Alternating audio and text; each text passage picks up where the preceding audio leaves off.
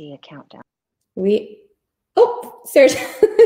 All right, well, we just saw Sarah. Well, uh, welcome everyone to our Facebook Live. I am Amanda McCrossin back here for a little California wine and cheese pairing. Oh, Sarah's back. Perfect. Um, and we have an amazing guest with us today, a, a board aficionado um, certainly someone who is skilled in a department where I am not, and I'm thrilled to have her as my guide this this afternoon slash evening, wherever you're joining us from. Um, so with me today, we're we're with Sarah uh, Sarah Gim. Um, I should have asked you to say your last name because then I then I questioned myself. Um, Sarah Gim from The Delicious Life uh, at The Delicious on Instagram. Sarah, welcome. Tell me who you are and what you do. Um, hi, I'm ex- super excited to be here. Um, all I all I do is make cheese boards. Got it. You say um, all like it's nothing. Yeah, I mean it is really um, nothing. but um, yeah, I mean I I like to put all the boards together, take pictures, put it on Instagram, um, and obviously drink wine. So I'm super excited to learn how to put some really outstanding pairings together with this stuff today. Well, you are in the right place. We're going to do all those things. We're going to eat cheese. We're going to drink wine. We're going to have a lot of fun while doing it because that is what our jobs are anymore. So lucky us, right? Yeah. we have a beautiful board in front of you, which we're definitely going to talk about. I have a very simple board of cheese. It is literally just cheese in a plate. Um, and you have outdone me because that is what you do for a living. Um, but we're going to talk a little bit about cheese in California. And I wanted to sort of kick it off with you know, cheese is something that I love. I assume it's probably something that you love, but I was curious, you know, what is your first memory of cheese? I think it's, you know, been in so many people's lives for such a long time, but, you know, it stems from an early age generally. So was it like grilled cheese, string cheese, or like just cheese in general? I mean, it's, I, I feel like everyone, like, I mean, I've been eating it my whole life, so I can't remember something specific. Um, I, I actually do remember like seeing other kids in school with Lunchables. Okay. Which I feel like is basically what a cheese board is now for adults. But I did I never totally. got to have that in elementary school. Um, so I think that's why I'm like super into it now. um, but yeah, I mean, the first memory of cheese was always just um, nachos and t- okay. like taco bars and stuff because I grew up in Texas. So that's like kind of how it started. I loved it because it was like salty and melty and, you know. Yeah. Do you remember the first time you had melted cheese? That's one of those like there's there's a comedian that's got a skit. and he was like, the first time I had melted cheese, it was like a revelation. Just like I didn't even know this was possible for cheese to get better than it already was, being all melty and delicious in your mouth. Um, I don't remember specifically, but I, you know, we didn't get to eat pizza a lot when we were little, okay. so that was a major treat for us to okay. like have and I remember thinking, this is so cool that like the cheese is melting and like it's all stringy and it's that's the super fun, exciting part about it. So yeah, and like um the runny like cheeses now are kind of like that. I mean, we don't have like melted yeah. cheeses on boards, but we have the like the bloomy rind cheeses, like what we have here, that are going to be runny, and they they pull apart a little bit, and they're really soft and stuff. So well, I, you know, I think we've learned as even as kids that there is a wide array of different cheeses across the board. They can come from all over the world. We're talking just about California cheeses today because, of course, we are on the California Wines channel, and um, we're thrilled to have a great representation of California cheeses and all different styles, all different flavors. Um, and so we're going to be talking about not only those flavors individually and those cheeses individually, but of course, how to pair them with wine and then also how to build your board. So um, Sarah, are you aware that there's an actual cheese trail in California? Like this is a very big thing in the state of California. Okay, so I only learned about this very recently. Um, and now it's like on my list of things to do. Yes. Um, I mean, I know there are a lot of um, cheese artisans around California, obviously because of the dairy here, but I did not know there was one specific thing. So tell, tell me all about it. So I yes, can you it. can explore so much like you can explore the entire state of California via wine. You could also use cheese as your guide. Um, so Vivien Straus, and you, are maybe you're familiar with the Straus family. Um, it is my go-to. It was a revelation when I moved to California. The Straus butter and milk situation and Straus ice cream blew my mind. So for those who don't know what Straus is, S-T-R-A-U-S, Straus is a, a dairy farm, family owned and operated for you know, goodness only knows how long, but um, famously, you know, Thomas Keller, it's the only butter that he uses in any of his restaurants is the Straus butter. But Vivien Straus of the Straus family started this thing called the Cheese Trail. And the history of cheese in California actually goes back all the way to the 1800s. And um, I don't know why I didn't realize this until I Googled it. Um, but did you know that Monterey Jack is actually from Monterey? Okay, that I knew. okay. well, you have one up on me because I did not. I read I read that and I was like, oh, you dummy. That makes so much sense. yeah, it is from Monterey. I mean, not all of it that's out there that's called Monterey Jack is from sure. Monterey, or a lot of it isn't. But yeah, that's so cool. yeah, that is call that ours. Yeah, that is a just and there's you know there's several others uh, in the state of California that are uniquely Californian. Um, Monterey, of course, you know being one of them, Monterey Jack being one of them. But yes, you can explore the entire state of California, and there are um, a ton of different cheese landmarks, literally from all the way in Northern California down to Tijuana, where you could potentially, you know, follow the map and go all the way down or go all the way up or make a couple different stops. And um, I just think that's such a cool thing about the state of California that you can literally like just eat your way through the state and maybe have some wine alongside. Who knew? Maybe, definitely.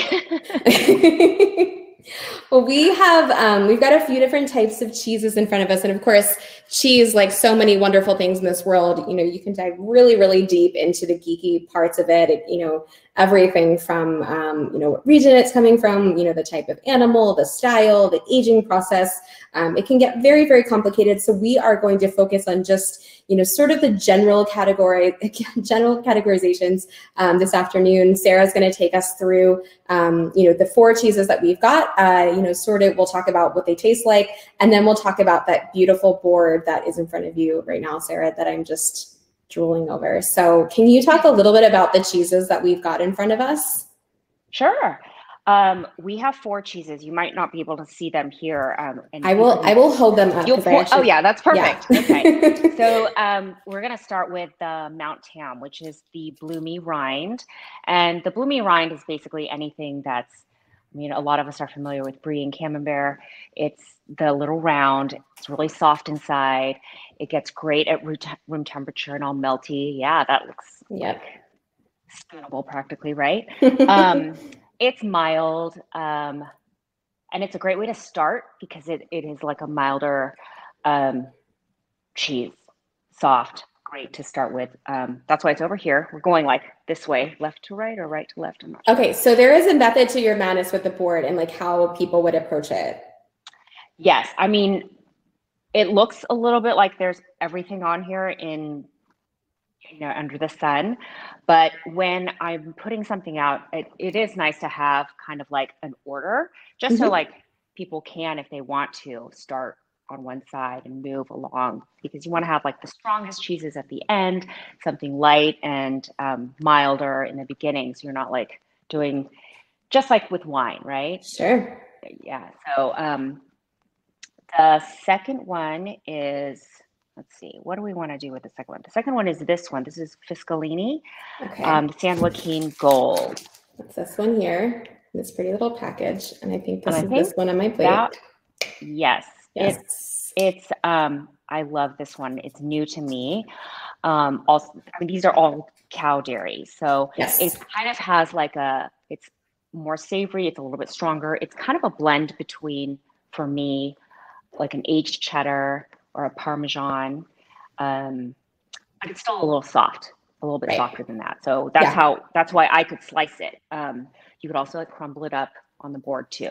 Okay. Um, so that's over here. This is the, okay, somebody has to help me with the pronunciation the, on this. The, oh, the st- I, st- I just said stite. I don't know if that's correct. S T U Y T. So for those of you who know how to say things better than myself and maybe Sarah, S T U Y T is our um, is our dairy and it's the Diamond Reserve. I think that is what you're pointing yes. to. And yes. I I love this one because the name does have the word diamond in it. Yes. So um, it's a raw milk cheese and it's it's also like a um, like a very savory, salty cheese because it's been aged a little bit longer than, you know, say the bloomy rind kind. Okay. Um, and I had a little bit of trouble just slicing this one because there are like crystals in it. That's there are. I noticed that last night. Yes. Kind of yummy, like Gucci crystals. Yeah. Yeah. And I, for when I first started eating like fancier cheeses beyond like Babybel and stuff, um, I thought the crystals were a flaw. Oh. I was like, oh my gosh, like what what is what are these little What's wrong with my cheese? cheese? And what it is is it's kind of telling you like this is really aged, it's mm. delicious. It's like having um the flaky sea salt on food. It makes Ooh, it a little bit crunchy too. That so, is totally what it feels like. Yeah. Yes. Love that. Um, and then the last one we have is the Point Reyes Blue. Yes. Um, this is I, I, keep saying this is my favorite, or I, I've been saying that for like the last three hours. I've been saying this is my favorite, this is my favorite. They're all my favorite. Um, yes. this is a, this is actually kind of like a milder blue. Um, yes, I noticed that. It it looks super veiny, like it has a lot of the blue in it. So mm-hmm. it looks kind of intimidating in the beginning, um, mm-hmm. but you taste it, and especially when you pair it with other things, so good. So, and that's like the last thing that we have over here. Perfect. So those are the cheeses. I love it. Um, we should uh, go back through your board. So you, we basically, the way that you've done it is, like you said, mild to sort of strongest. And so there's, you know, a theme to the board and how someone may approach that. But as you're building this board, um, you know, what are you thinking about as far as like the things that are going around it? Because, you know, obviously I just have my beautiful cheeses just on the plate, but you've sort of filled in the gaps um, between the different cheeses. So can you talk to me about your approach and like, and actually, you know, concepting this board and building this board? Um, yeah, I mean, you kind of want to go off of some of the flavors that are in the cheese. Okay. Um, so you can bring out like around each of the cheeses, there are things that you t- want to like guide people towards eating together if they want okay. to. Um, I also have the crackers on the board. Um, but, you know, that doesn't mean like people can't like put different things from over here sure, over here. Yeah. I mean, the board isn't that big, but sure. um, like with um, this, with the Fiscalini, uh-huh. because it's very salty uh, and aged and you know, the cheddary parmesan thing, what I really wanted to put with it was something sweet, but also that reminds you of something savory. Okay. For example. So this is um, an onion jam, a caramelized onion jam. Ooh. So it's sweet. Um, and I actually made it with a little bit of rosé. Um, it's sweet, but oh, it reminds you that it's like a savory thing. Okay. That kind of like, you know, you kind of put things together that go together. Um, but everything on the board works together. So okay, you know, yeah. So so with the um with the Mount Tam, you is it um what is the like the rind on top of it? Is it a blood orange on top of it? This is a blood orange crisp. Okay. So um these I put with like something that's really mild. It's good to put it's fun to put something okay. that's bitter. Um I mean traditionally you would most like what I usually do is I put would put a wedge, a little tiny wedge of this on a mild cracker, and then put preserves on there, honey, something like okay. that. Um, what's really fun to do though is to put something bitter just to see um, if something bitter can come out of the cheese. I mean, not bitter, but um, a complementary flavor. So beautiful. Um, blood orange crisp there. There are also candied oranges over here, so you can kind of like try it over here. These are sweet. So Okay. And then when you're so obviously you, are building the board with you know flavors in mind, you know trying to keep the audience in mind as well. But as you as like you know first I'm walking to your cheese board, I'm like wow this is really beautiful. Um, you know what is the sort of not the instructions, but like what's the preferred method? Like am I taking you know a piece of cheese and then like the crisp and then like taking one bite? Am i eating one after the other? Like and we're going to talk a little bit about wine pairings and you know how the cheeses are, are playing with that but um, is this like a one bite situation? Like you know you mentioned kind of drizzling some things on top. Can you do like a combination of different types of things? Definitely a combination. I mean i have been known to just take a slice of cheese off the board and just eat it straight sure um, but I think that that's always like a good way to start with every cheese that's on the board for anybody is to try the okay. cheese by itself or with a very just plain cracker. Um, mm-hmm. Then you can you can get a feel for what the cheese tastes like, the texture, and then you can kind of experiment with the things on top. I I usually like to put cheese with something together. Um, okay. I would things like olives on the board and nuts are usually bites that I take in between. Okay, so like um, sort of like um, palate cleansers. Palate cleansers. Okay. Uh, even though they have a very strong flavor. Sure. Um, but it's like a little like refresh, yeah, I mean, right? So you, you don't get like palate yeah. fatigue. Yeah. Yeah, and then you know because you don't want to be taking too many sips of wine there before you get a little bit full on cheese first. Speak so, for yourself, lady. Um, I don't know what I'm talking about. speaking of, can I pour myself something? Yes. oh, please. Start with? Yes, we should drink some wine while we're doing this. That's what we're okay. going to do. So yeah, drink. Um, pour a little Sauvignon Blanc. So we've got the Merry Edwards Sauvignon Blanc. Uh, let's talk a little bit about wine for a minute. Give you a break so you can have some wine. Um, yes. We have three wines that we are working with today. They could not be more different, um, but they all play with cheese really, really well. So as Sarah was talking about, all the different flavors that can come out of cheeses by way of incorporating, you know, accessory foods like the blood orange and the nuts and the olives and the caramelized onions. You know, the same thing can be said for wine. So as we're sort of talking about about wine and cheese pairings, just remember there's no sort of um, you know, we're not super dogmatic about anything, and there is no, there are some rules and some guidelines and some things to follow to help, you know, lead your journey. But um, the best thing that you can do is sort of, you know, this cheese board is a great example of that. Uh, if you don't want to, you know, be drinking tons of wine while you're trying to figure out what wines to pair. Um, as you take little bites of cheese, you know, grab a piece of fruit and see how that plays with it. You know, whether it's a citrus fruit or a, you know blackberry or um, you know a nut or something like that, and just see how it plays with your mouth. And that should sort of inform how um, you know you want those those flavors to pan out when it comes to the wine. So three different wines. I think you know we'll just broadly say across the board. One of the biggest misconceptions is that um, red wine and cheese are uh, go together, and that is um, I won't say it's wrong, but it is uh, it's one of, it's one of those things that people are like, oh yeah, red wine and cheese, and for the longest time I was like, oh yeah, red wine and cheese, and I was uh, I was quickly humbled by a wonderful sommelier friend of mine who worked at a very fancy restaurant called the Burn It Down, and she was like. No, no, no. we don't do red wine and cheese. Uh, if you're going to do a red wine, it should be sort of light and fruity and soft and tannin structure and she was totally right. Um, and so one of the things she did for me was this very, very classic pairing of fresh goat cheese, so chèvre uh, from the Loire Valley with a little bit of uh, Sancerre. And, you know, this notion of what grows together goes together is something that we've talked a, a lot about during this series. And so we're always trying to take those sort of concepts and move them into California to see how they play. So when you're thinking about cheese, a lot of times the best pairings are going to be white wines because cheese has a ton of acidity.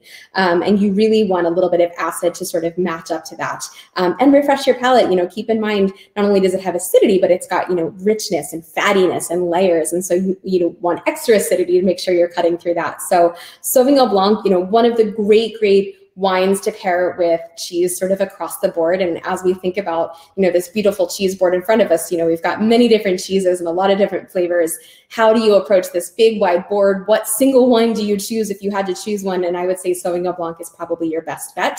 It's the cleanest, it's the brightest. Um, it tends to be the most, um, the most friendly with lots of different types of cheeses. And this is an absolute classic. Um, Sarah, are you familiar with Merry Edwards?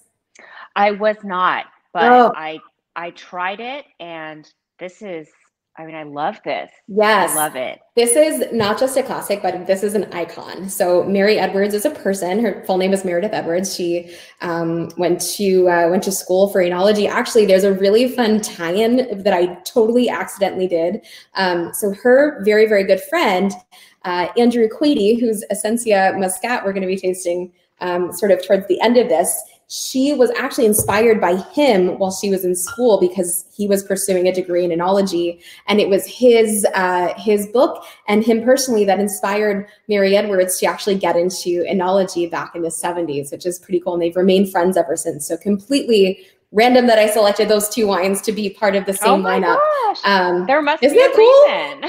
reason but Merry, you know, super famous. She made, you know, really, really classic, iconic wines back in the 70s and 80s, sort of started her own thing in the 90s and early uh, Er, late 80s and or all throughout the 90s um, and then started her own winery called merry edwards and you know got very very famous for her pinot noirs but then also her barrel aged or barrel fermented sauvignon blanc from the russian river valley and it is to this day one of the highly most highly rated Sauvignon Blancs from California. It is what we consider the standard bearer, the benchmark for California Sauvignon Blanc. And we think of you know producers like um, like Spottswoode and like Lail and Merry Edwards, sort of all in the same uh, breath because they're just so iconic. So um, I love this Sauvignon, Sauvignon Blanc in particular. One because you know it's classic and iconic, and we love that Merry Edwards made it, but also because it is a little bit more, um, a little bit more rich. So as you're talking about lots of different cheeses, especially this Mount Tam, you know, creamy cheeses like this tend to want something a little bit more unctuous, like a Chardonnay.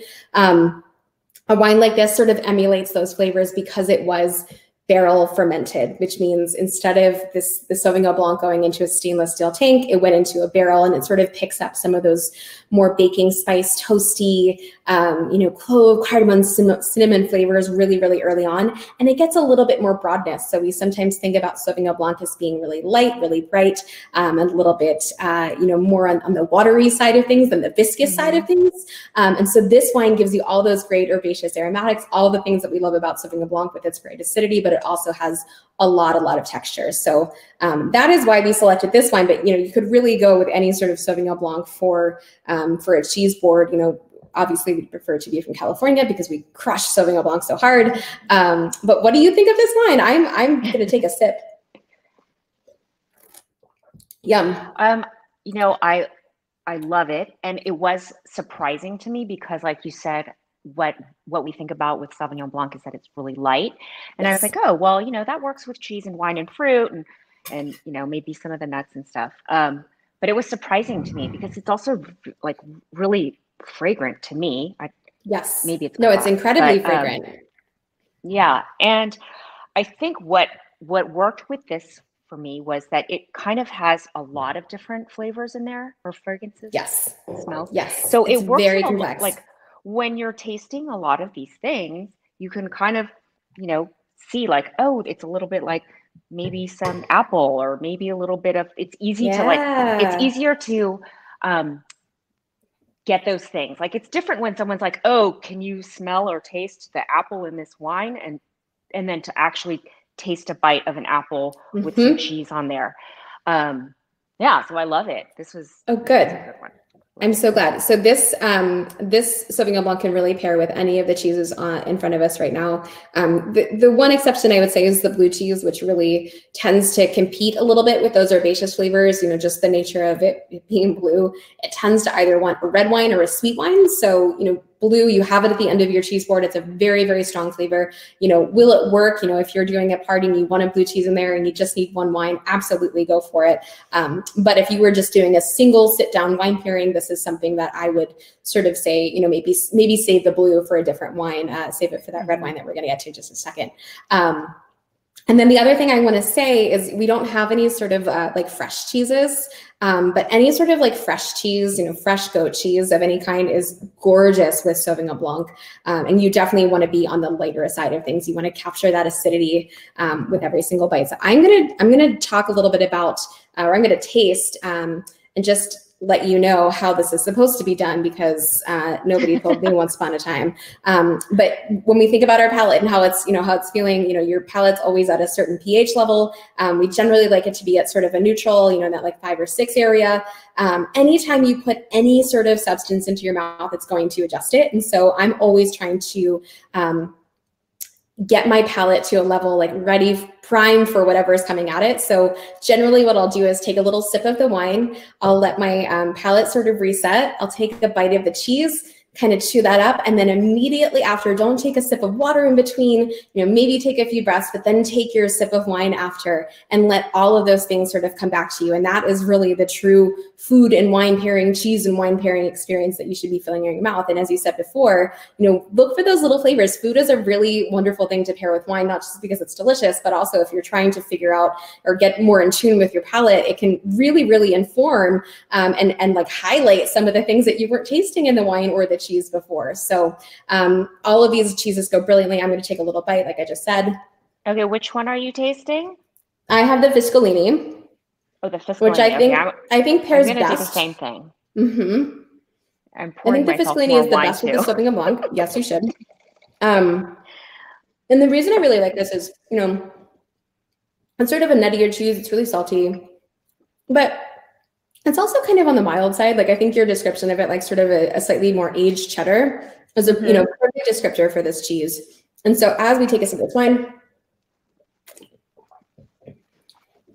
what I love is all of those like almonds have sort of turned into pistachios.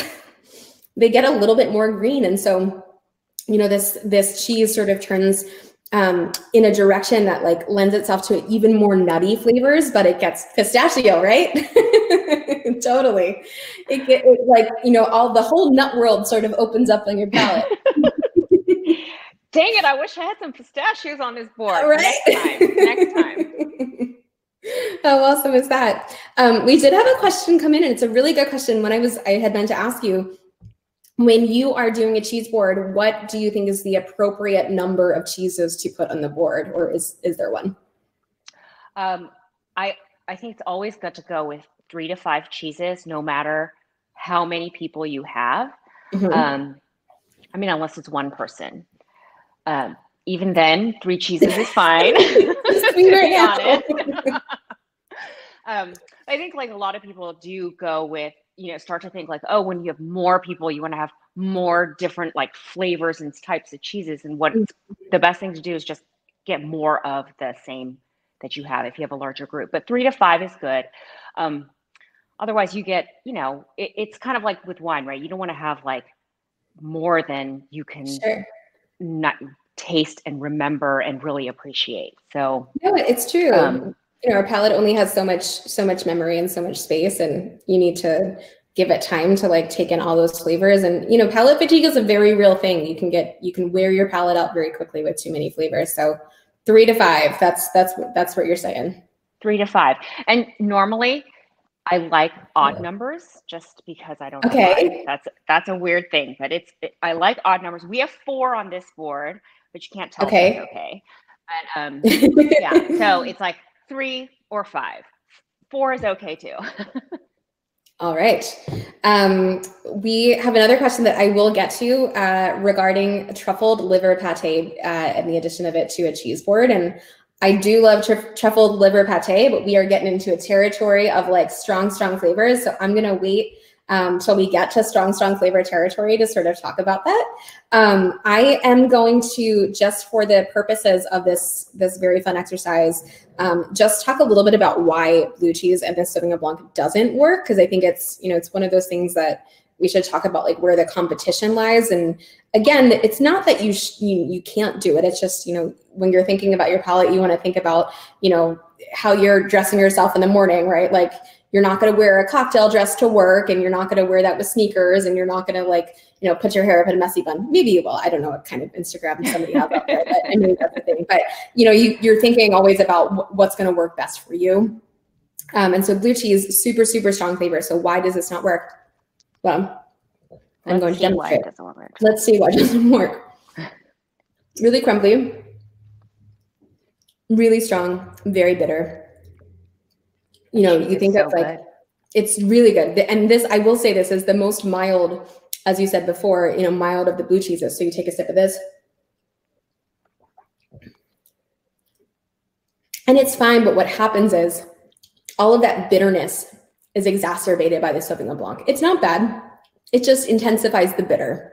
And mm-hmm. you know, when I'm thinking about blue cheese, I'm thinking about a very strong flavor that wants to be anchored by something else, not uh, accentuated you know we're always thinking about you know when when we want some when we're thinking about pairings we're thinking about either opposites attract or like same and same. And this is sort of um, almost too much of the same. Like it's almost too much like moving in one direction of bitter. So um, you know this is like i said a more mild version of blue cheese so it's not terrible. Like it totally would be fine on your cheese board but um, that is typically the reason that this doesn't work. And the reason it doesn't really you know it works a little bit um, with this gorgeous Mount Tam that this is not just decorative that I took a chunk out of. I actually did eat that. Um, um, it just, you know, it tends to tends to want a little bit more richness than this wine is giving you. But like I said, if you get this wine down to a temperature, don't drink it super, super cold, get it down to like a nice 55 degrees it'll start to amp up and give you a little bit more viscosity and weight. And of course, um, we should talk about serving temperatures of cheeses before we move into our next wine. So um, tempering cheese, I mean, are you getting it out of the fridge ahead of time? You know, what is, do you have an idea for like ideal serving temperatures? Yeah, I mean, cheese is like wine; it has to be at the right temperature. And um, even though I say like generally there are no rules for cheese boards or cheese, the one rule that I always do stick to, no matter what, is that you've got to take the cheese out of the fridge an hour before you're going to serve it. Okay. Um, and that means like if you're putting together a board, it actually works out because you take the cheese out of the fridge and let it um, come up to room temperature. And what you're letting it do is sort of like loosen up mm-hmm. Mount Tam because when it, I mean, I don't know, when you took it out of the fridge, it's, I mean, it is like hard. It's like a, you know, like this. Yeah. Um, but now this has been out for um, like an hour now and the cheese is getting sticky. It's like, that's what you kind of want. You want it to, like I, I don't know any other word than to say like loosen up in the, okay. in the like warm air in room yeah. temperature and you really do want to serve it at room temperature um, so that it's it, that all the flavors i mean part part of it is that it's like sliceable when you're sure. serving it um, but also especially if you're serving not pre-sliced but when you just put something out like mm-hmm. like you have on your board like you're putting just the cheese out and someone has to slice it it's easier to do when the cheeses are a little bit warmer or softer um, but yeah like the you want the the fragrance and the flavors to come out of the cheese and that comes out at room temperature can I ask one more question about the board? Where yeah. where do you what happens first? do you put the cheeses down and then build around that? Like is it different every time or do you have like a general set of rules like I set the cheeses down and then like everything comes after? The cheeses go down first. That's the easiest okay. thing. Um, and then uh, things that are very specific to a, a certain cheese, I'll put down, mm-hmm. which is usually the spreads, like the this is a raspberry pepper jam honey, caramelized onion, apricot. Put those things that do generally go with the, a cheese next, mm-hmm. and then just fill in the rest after that. And I have okay. everything out with me next to me, not right now, but when I'm doing it so that you can sure. put everything out. So, okay. Yeah. That makes sense. Yeah. You make it look so darn easy. it actually is pretty easy. Um, and it's really fun to do. So, you know.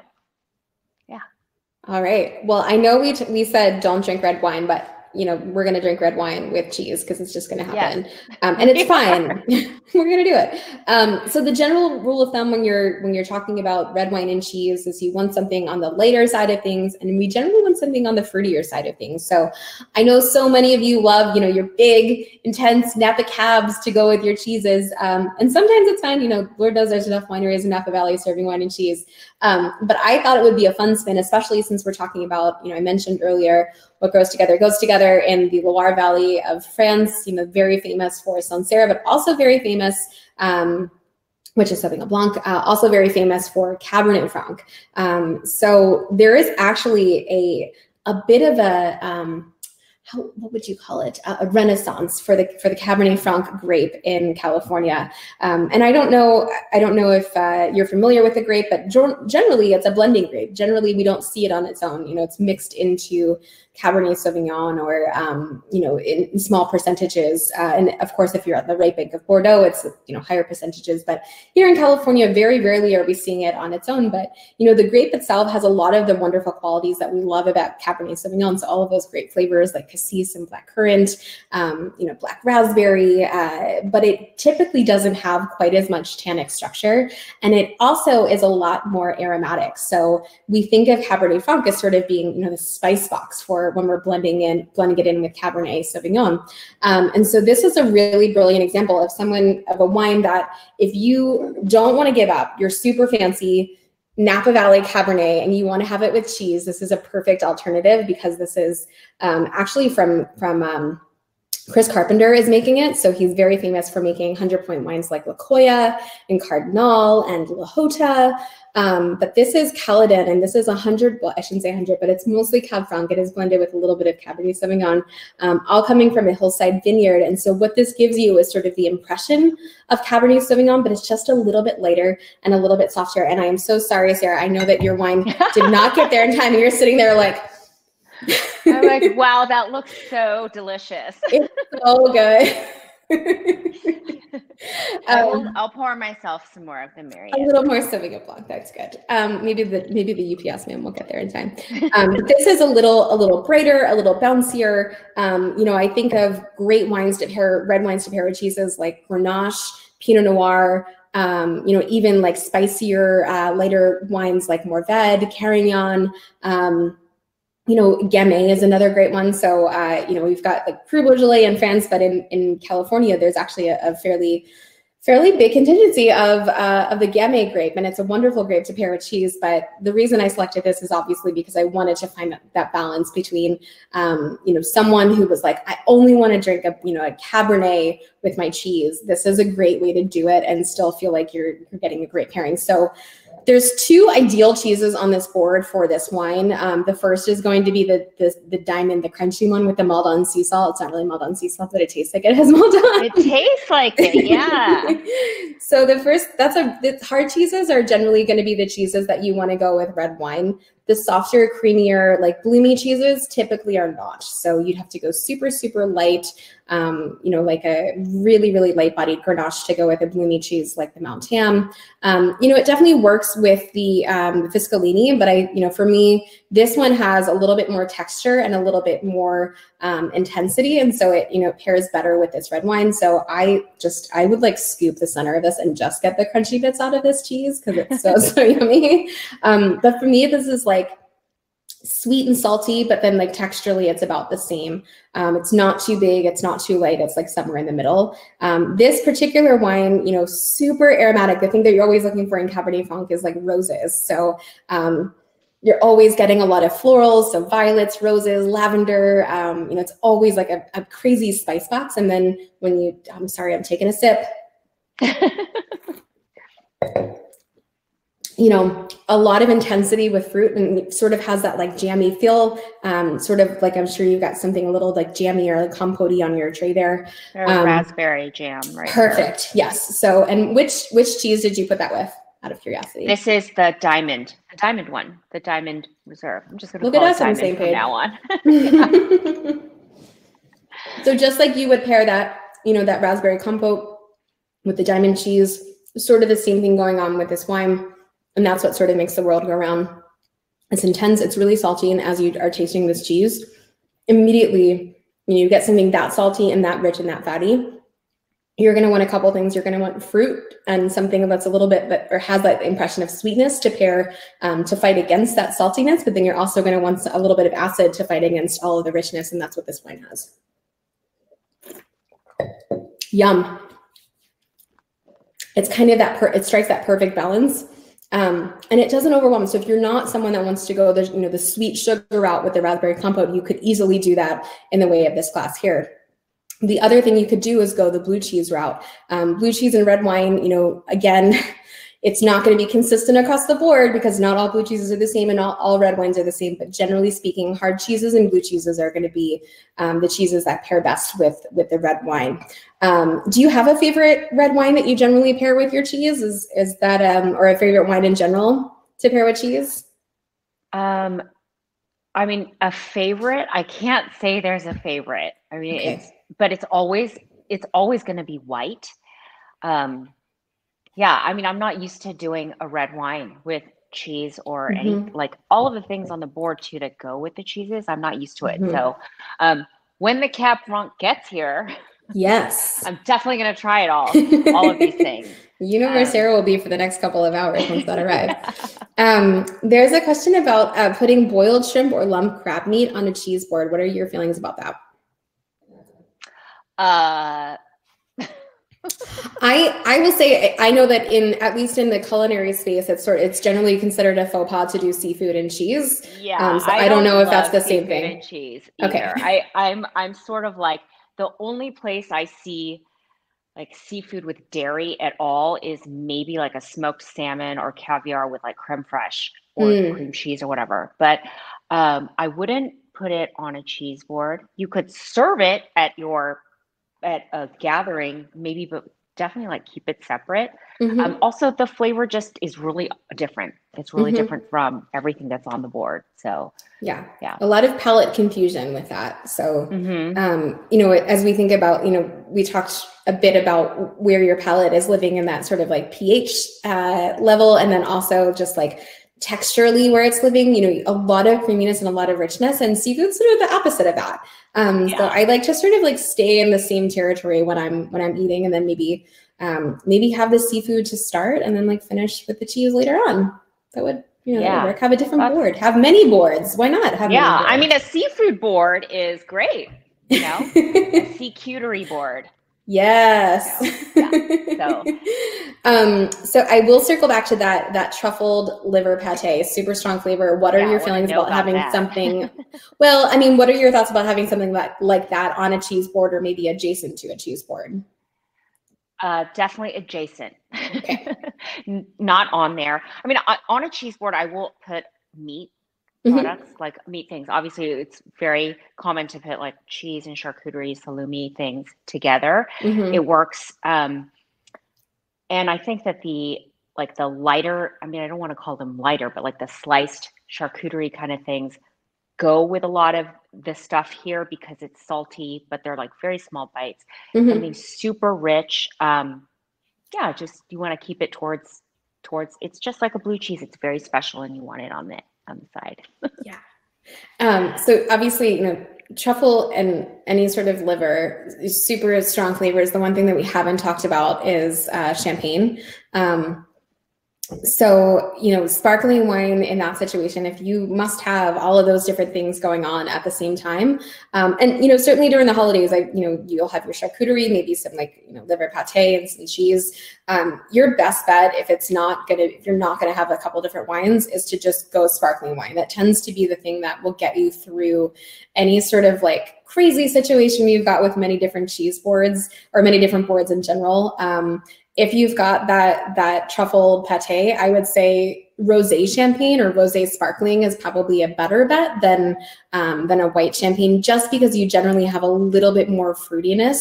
Um, and as you're talking about, you know, intensity of uh, you know something like salty, savory truffle, the, the you're going to want a little bit of that fruitiness. You could go with a red wine for that, um, like the Cabernet Franc, or with something that's got a little bit more acidity. So the ideal pairing would be something. Um, you know, something like a Barbera. Um, but the reality is when you're talking about super strong flavors like blue cheese and with liver pate or truffle liver pate, you actually might want to go the sweet route. Um, and that's where we're going to land um, at the very at the very end, which is you know what we're coming to now. So you think about one of the classic pairings is like sauterne and foie gras. This is sort of a similar approach. So anytime you've got really strong sort of pungent flavors, very savory and salty, you know the adjacent thing to that is going to be sweet and a little bit you know a little bit on the fruitier side to sort of like counterbalance that. So we've got this really fun. I don't know if I actually had never tasted this before. I'd only ever heard about it. Um, I, had you ever had this before, this Essensia? Um, I, ha- I had not had it. I tasted it um, a couple of times, which is why there's only half a bottle. Oh, good. You're my new favorite um, person.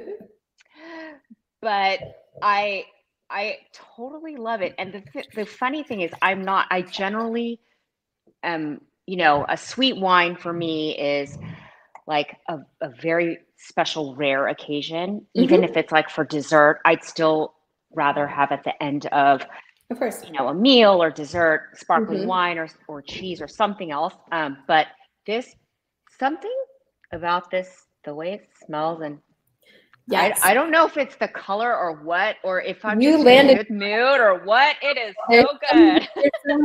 so yes, I think you know a lot of people get scared of dessert wines and sweet wines. Like oh, I don't really like sweet wine because um, you know they can be really like unctuous and rich and like really over the top. But this is really unique. Um, this is made from the orange muscat gra- uh, orange muscat grape, um, which is you know something you'd find in Italy. Uh, used to make Moscato very often. Um, and this is this is actually harvested, not to get super geeky, this is harvested at 22 degrees Brix. Um, most, if you're talking about like a late harvest dessert wine, you're going to be up in like the 30s, you know, high, high 20s, low 30s, somewhere in there, um, trying to get all of those sugars to develop. What they do is they actually harvest it at 22 degrees Brix, which is essentially what you'd be harvesting something like the Sauvignon Blanc for, uh, or some, something like Sauvignon Blanc at.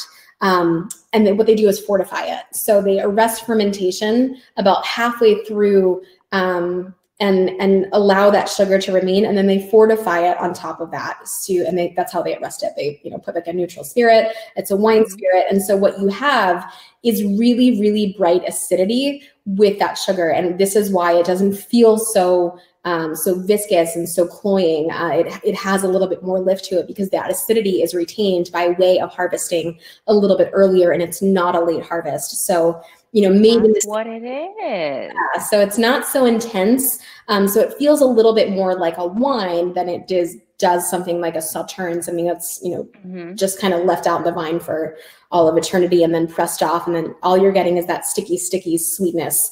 Um, so this is really fun. Um, it's interesting. Uh, they do recommend. I mean, you can. They recommend drinking this on its own, but they also say you could mix it into a sparkling wine, which I think honestly, this might be my new like secret stash to have in my fridge because how many times I don't know about you, but my family, like my mom comes over and she's like, "Oh, I really want a wine like you know it's it's too dry for me," um, and she wants something a little sweeter. And you could potentially put a little dash of this into some sparkling wine and like make a nice like you know it's not a spritzer. a spritzer light and like airy and really fun. Um, and you could do that with lots of different cheeses as well. So um, you you hit the nail on the head with it's just jumping out of the glass. Orange muscat is a crazy crazy aromatic grape. It's you know it's floral. It smells like orange blossoms. You know it smells like you know candied lemons candied Meyer lemon all of those great like citrus, um, you know, sort of there's almost like a chamomile and honey thing coming on too. Um, so I think about like there's a corner of your board um, that I'm seeing that like, you know, it's just sort of like I can kind of pick one? it up. I think it's that one. Yeah. There's like there's, yeah, there's some like apricots there somewhere in the middle. There's, there's the apricots here. Yeah. And then there's candied, there's actually candied oranges right here. Yes. Okay. So um, that's that's where I am on your board with this wine right now so you know what's funny is so when I was tasting when I was tasting this wine um, in advance pr- preparing, that's right. I I was like, look, I'm gonna just taste a bunch of different cheeses with the wine, and mm-hmm. um, I don't like just grab a wedge of blue for myself and eat it, but um, for the purposes of this, I was like, okay, well, I'm gonna put this blue cheese, and I didn't think ever to put it with i mean i've always put blue cheese with honey and like walnuts that's mm-hmm. very um standard i guess like very like normal pairing mm-hmm. um but i put the blue with this candied orange and it was so good because there's mm-hmm. like i mm-hmm. mean there's like a slight bitterness too because like wine is just like has that like not bitter but like yeah like a natural phenolicness yeah um and then with this it was like wow this is a, I mean, I wild, right? So unexpected and lovely, and I couldn't believe that it was it was real. You know, you don't. I I don't always like have these like revelations or epiphanies about cheese and wine. I mean, I have great taste, but that was that was a good one with this. It is it is a good one, and this is really the ideal pairing for blue cheese um, is to go with a sweet wine. So Blue cheese typically wants the opposite of what it is. So it's wants a little bit of, of sweetness. And to your point, um, this wine does retain a little bit of that like phenolic bitterness. Um, so it does, you know, it's, it's not the total opposite. There is sort of like a, a through line, a component that ties the two together. Um, but there, this is a revelatory pairing you've got some blue cheese and some sweet wine like this. My goodness, the angels sing. Mm-hmm. Oh my gosh, I love this cheese. Oh, so cheese and the wine together. Mm-hmm. And honestly, this wine, I know, I know, I know during like a cocktail party, you're not going to want to serve a sweet wine, but you know, if you're thinking about cheese as a dessert, which you know, I know in in America we tend, we tend to have cheese. That's what I do. I eat cheese for dessert. I don't know what all these people are eating right. cake for, but cheese obviously in, in other countries is often dessert and you know this is the perfect finish for me. Is like a cheese board like this a couple slices and a nice like you know sweeter dessert. Wine this isn't cloying. It's not over the top. It's not going to throw your palate. It's just going to clean up a little bit. Um, and this you know pairs with all of these cheeses on, on the board. Um, and circling back to the, the truffle liver pate, this is actually something that would pair really well with that. The only thing I will say is when you're, you're dealing with the pate, especially like a, a darker pate, um, and liver, you might want more of like a red dessert wine. So something like a port, like a tawny port, um, you know, uh, or something like that. Um, there's equivalents of that in California. That's just sort of the, gen the general um, stereotype or marker for those wines that you'd be looking for. So red is really where you're going to want to be for that. Um, but this would certainly work really, really well and sort of, you know, give a really fun, a fun way to like pull out all of those flavors and, you know, capture the savory stuff as well. So I have, I have a lot of cheese and you have a big board in front of you. What happens with all these boards when you're done? um, you know, I just pretty much eat it all day long, you know, um, and then, you know, friends and family around. They got to come and, I mean, in small gatherings, obviously, right sure. now. But yeah. gotta gotta have all of the peeps come and help me. And well, when there's wine involved, they definitely will show up. they flock. That's right. Well, you've got you've got plenty of wine and plenty of cheese. I've got plenty of both as well, but not as much family around. Although you never know, they might just show up. They'll I heard up. there was I heard there was cheese. Um, well we i think we've captured you know what we we've accomplished what we wanted to today with uh with cheese and with wine. We certainly drank a bit and um had some delicious cheese. I definitely learned a thing or two from you sarah. Um i just cannot get over how beautiful that board is. So um where can people go and find more of these delicious boards and you know see the gorgeous things that you're doing? Um all of this stuff is on the instagram okay. um at the delicious and for detail like recipes, it'll always point to a place on thedeliciouslife.com. If there are recipes like this is a recipe, there's a recipe for this. Um, this is a recipe from someone else, but I can point you to that. Um, but yeah, most of the pictures of all of the stuff is on Instagram. Wonderful. Um, well, I, I'm a follower of yours, so I will continue to follow you. Yeah. And thank you for like I mean, now I could just can I just have like a case of each of these and like I could probably sure. for six months. I think you're good to go. Like whatever pandemic may or may not strike next, like you're solid. You're yeah. You're covered. This, this is perfect. Yeah. Wait for the red wine to try it too. yes. Um, well, just a refresher for everyone, uh, we started with that gorgeous Merry Merry Edwards Sauvignon Blanc from the Russian River Valley. We then migrated into the red territory and had the Caladan 2016 Napa Valley Cabernet Franc.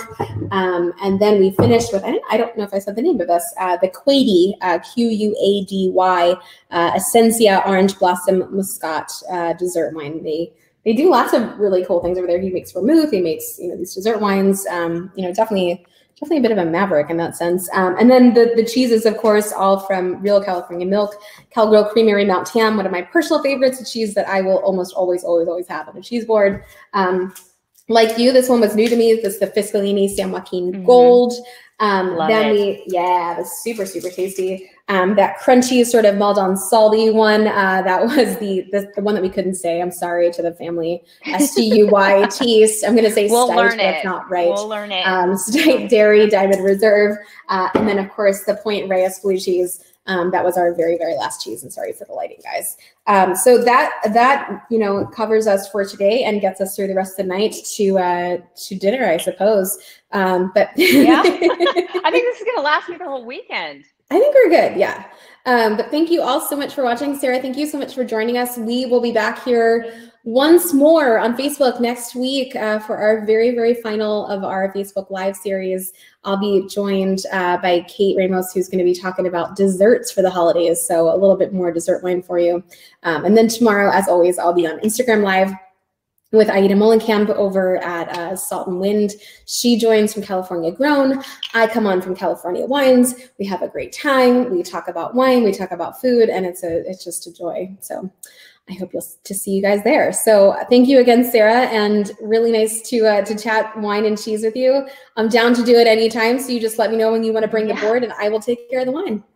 Yes, please. Thank you. of course. I'll see you all uh, when I see you next time. Bye. Bye.